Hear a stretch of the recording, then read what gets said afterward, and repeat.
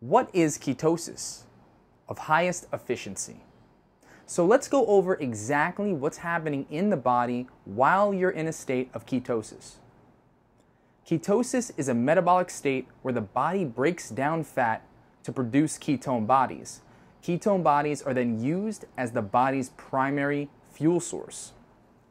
There are three types of ketone bodies acetoacetate, which is abbreviated as ACAC, beta hydroxybutyrate, which is BHB, and acetone. Ketosis is a state where glucose producing substrates, which are non fiber containing carbohydrates, are at a low enough level that forces the body to primarily rely on fat as its primary source of fuel then causing the body to create higher levels of ketones. Now, the one part of this third one that I want you to pay attention to is non fiber containing carbohydrates. This is going to be very important moving forward and for anybody who is trying to put their body in a state of ketosis.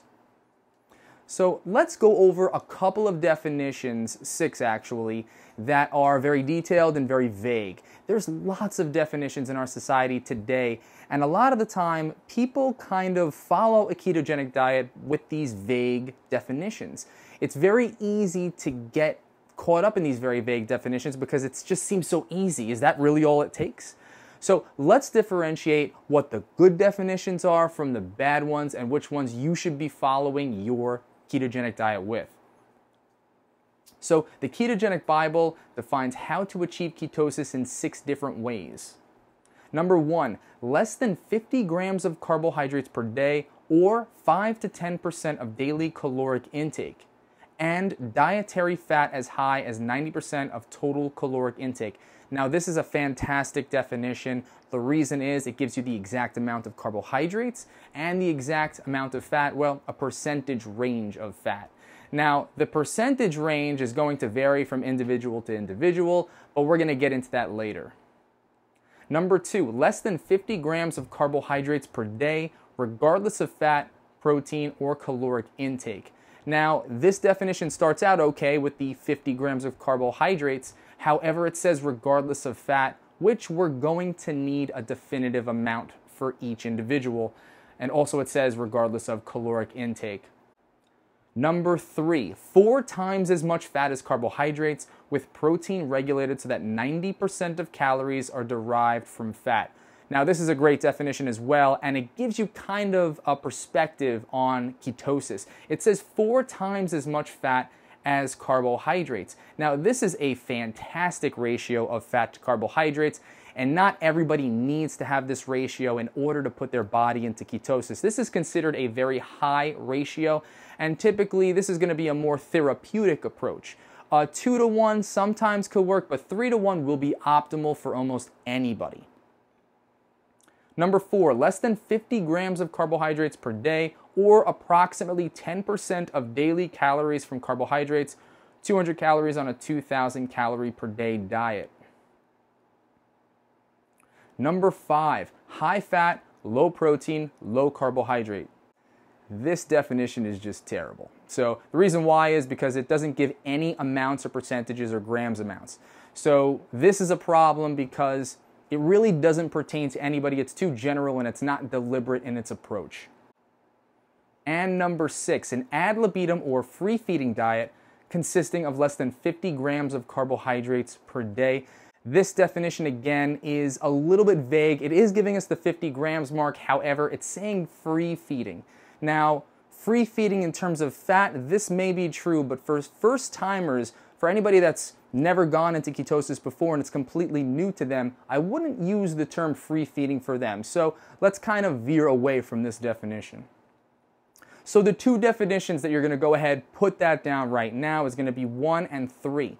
Less than 50 grams of carbohydrates per day and dietary fat as high as 90% of total caloric intake. And number three, four times as much fat as carbohydrates with protein regulated so that 90% of calories are derived from fat. So combined, these are two very great definitions, and there is a little bit of overlap. If we're having a diet 90% of fat, it's very likely that we're going to have four times as much fat as carbohydrates if we're trying to put ourselves into ketosis. These are great definitions, so always refer to these two definitions when explaining or trying to live your life by the ketogenic way. How does your body achieve ketosis? Now, two things need to happen in order for your body to be put into a state of ketosis. The first thing is going to be blood glucose levels must drop. So, your blood sugar levels, the amount of sugar that's in your blood running through your body, is going to have to, on average, be lowered. The second thing that needs to happen is glycogen stores must be depleted. So glycogen is just a simple way to say, it's not simple at all, is just another way of saying stored carbohydrate or stored sugar. Now we store about 2,500 calories to 3,000 calories of sugar in our bodies at any given time. That is going to be stored in the muscles as well as the liver and other organs. Those stores must be completely emptied out in order for us to be put in a ketogenic state. Basically what that means is is dietary carbohydrate must go down.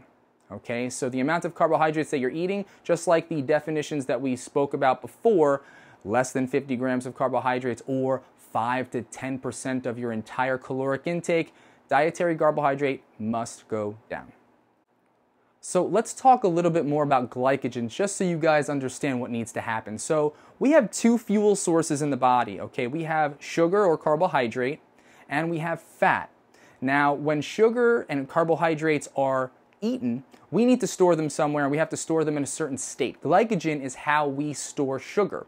So this canister is going to represent glycogen, this canister is going to represent fat. Now, what has to happen in order for us to get to the fat canister, in order for us to start burning fat as our primary fuel source, in order for us to decrease body fat and lose weight, we first need to empty this canister out. So, we're going to go ahead and do that. It's starting to empty out. It is empty.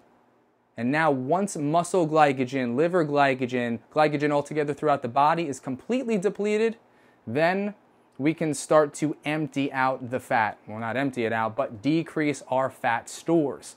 Okay? And this is when ketosis starts to happen. Now, there are many personal factors that affect one's ability to get into ketosis. What I mean by this is, is that it might take one person two weeks and another person upwards of two months to get into ketosis. And this is very common.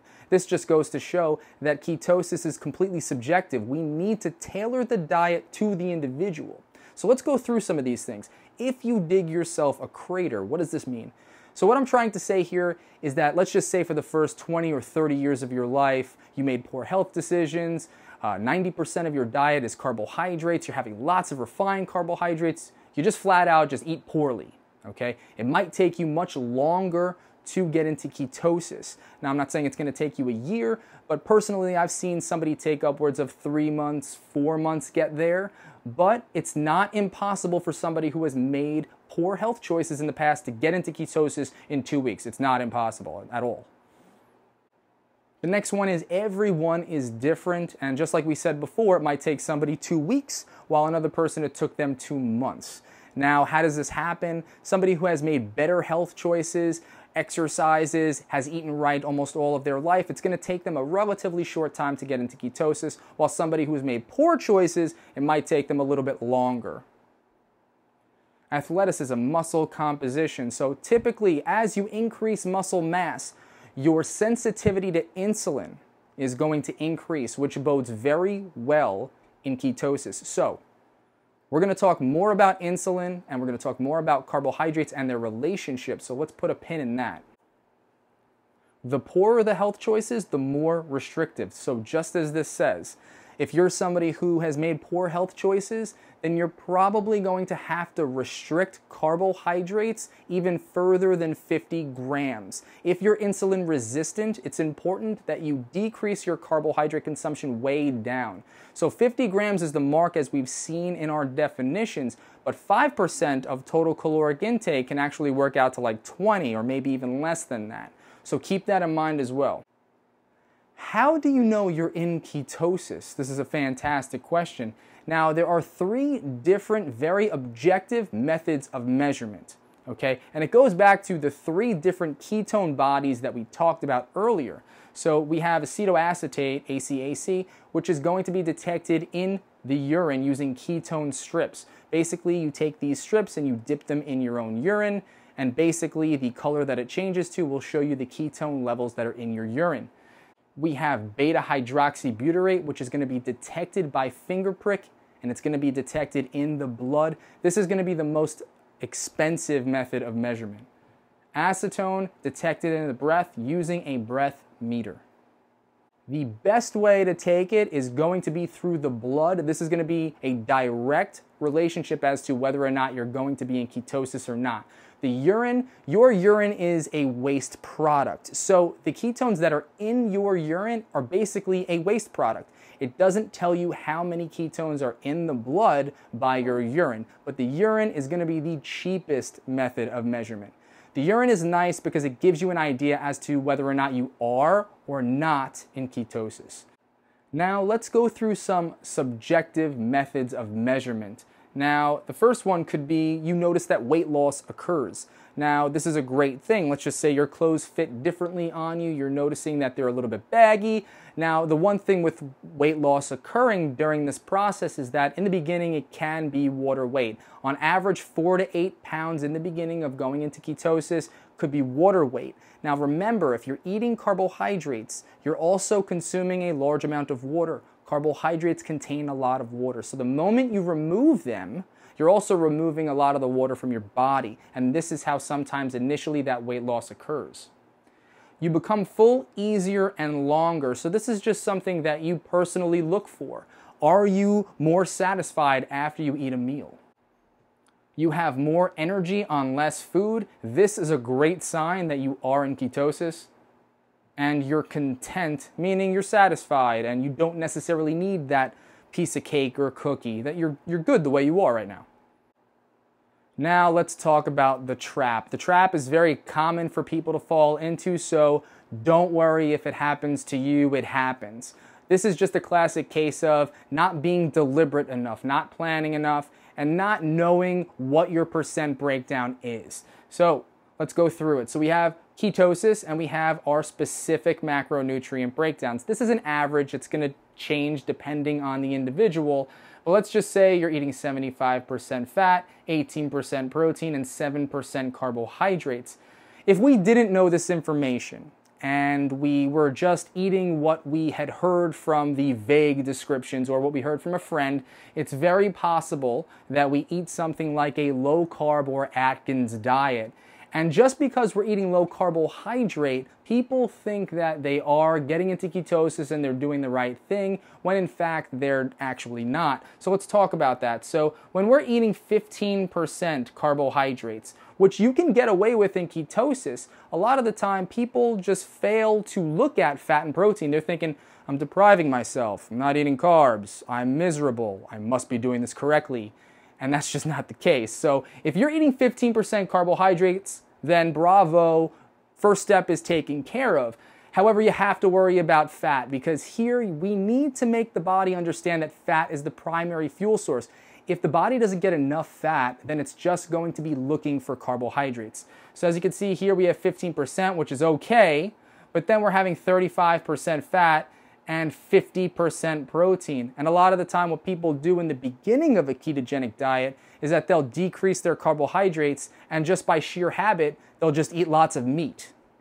That's not necessarily going to work. It's basically going to decrease the amount of fat that you're having. If you're having lots of meats, that's fantastic, that's fine, and we're going to get to exactly what to do, but make sure they're fatty meats. Okay, and we're going to talk more about that later. So make sure we don't fall into this trap and that ketosis is what we're going after. The high fat, moderate protein, and low carbohydrate, not the Atkins. Is ketosis another weight loss fad? Fuck no. Um, I'm going to say, from a personal standpoint, I didn't even think about this, but from a personal standpoint, ketosis has changed my life. Um, I am no longer a slave to my hunger. Uh, I have complete freedom. I have a fuel source on my body that I can tap into at any moment. Not only that, my brain does not experience any fogginess due to the lack of food. it's fantastic. And let's just go through some of the benefits of ketosis. It's not just a fat loss model. Uh, it's not just for weight loss. It's for a, an elevated way of life. It's it's fantastic. So let's go through some of the things that right now ketosis is being used for. We have appetite control and weight loss, diabetes, cholesterol, and heart health. Now, these two are what the world knows for ketosis to be used for. The others people don't know much about, and lots of studies around the world right now are using ketosis to treat some of these other disease states. We've got Parkinson's disease, epilepsy, Alzheimer's disease, traumatic brain injury, cancer. Cancer. Sugar is a fuel source for cancer tumors. If you cut off their fuel source, they don't enlarge. Mind blown. Oh my God. Exercise and athletic performance, this is being explored more and more. And I put LeBron James there because, well, yeah, the best athlete on the planet. And if you're a basketball fan, LeBron James is keto. Enough said. I, I feel like I don't even have to go on anymore. That's it. Multiple sclerosis, de- depression and anxiety, attention deficit hyperactivity disorder, bipolar disorder, headaches and migraines, post traumatic stress disorder.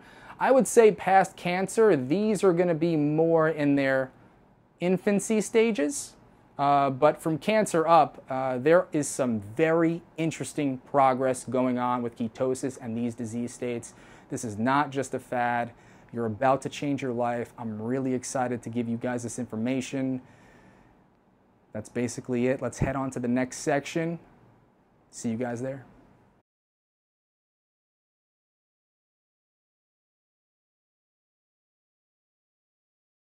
So, bringing you up to speed, we learned about leptin, the satiety hormone that is responsible for whether or not you're going to conserve or expend energy. We learned about insulin. Insulin is going to be the fat storage hormone. It can potentially block the signal of leptin. We learned about dopamine, the neurotransmitter that is essentially the carrot leading the donkey, telling us what to eat and how quickly you should move towards that food. We also learned about how high cholesterol actually happens and that carbohydrates are the actual problem and we learned about ketosis, what it's going to take in order for us to get to this ketogenic state. The biggest thing that I really want to talk to you guys about right now is something called ketoacidosis. People confuse ketoacidosis with ketosis. Ketoacidosis only happens in diabetics. Essentially, it's also known as starvation in the face of many. Ketoacidosis essentially only happens if you have high blood glucose along with high ketone levels. This is the only time it happens, and this is the only time where high ketones in the blood is unsafe. It doesn't happen to somebody who is trying to achieve ketosis. So don't worry about that. Calm your nerves on that sense. The next section is going to be huge. We're going to be diving into macronutrients specifically. Let's get to it. See you there.